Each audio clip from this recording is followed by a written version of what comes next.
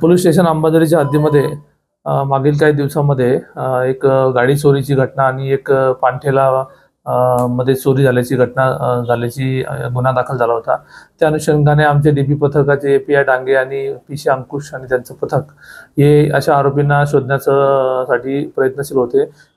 त्यानुसार D P पथकाला मिळालेल्या माहितीनुसार पोलीस स्टेशन अंबाझरी हद्दीमधील पुतळा तलावच्या बाजूला वडाच्या झाड आहे. त्याच्या आजूबाजूला एक संशयास्पद व्यक्ती दोन संशयास्पद व्यक्ती हे गाडीसह फिरताना दिसून आले.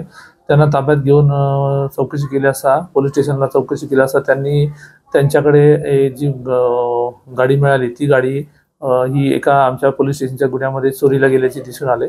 आणि आरोपींकडे केलेल्या अधिक कसून चौकशीमध्ये त्यांनी पोलीस स्टेशन अंबाझरी येथील फुटाळा तलाव येथील पानठेला मध्ये चोरी केल्याचं आणि सिगारेट आणि इतर वस्तूची चोरी केल्याचं निष्पन्न झालं.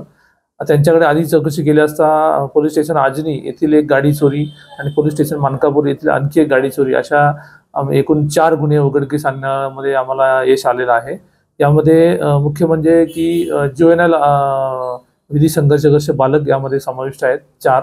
आणि त्यांच्याकडे चौकशी केली असता त्यांचा मुख्य सूत्रधार होता तो आरोपी अर्णव उर्फ दिनेश औननकर व वीस वर्ष राहणार अंबाझरी नागमंदिराजवळ पांढराबोडी.